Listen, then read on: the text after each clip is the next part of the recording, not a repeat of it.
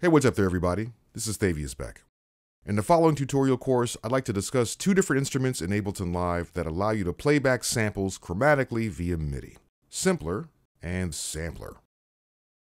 Let's go to my instruments here. There's Simpler, which is on this track, and there is Sampler, which I currently have loaded on this track.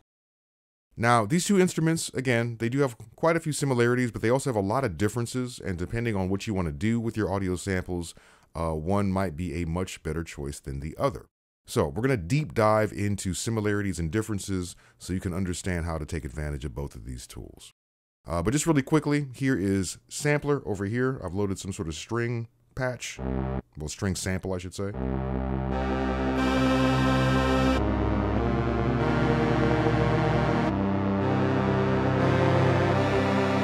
All right, so I can play that in different pitches, and that's great. Uh, if I go over here to the simpler instrument, I currently have a drum loop loaded, and I could play this at different pitches as well.